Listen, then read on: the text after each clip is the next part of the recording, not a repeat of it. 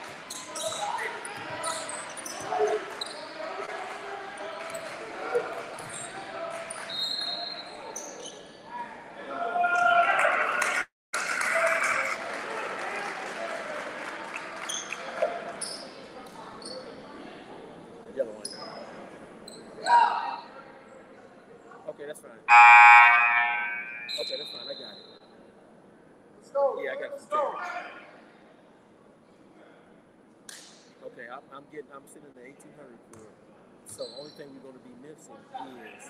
The CPMS,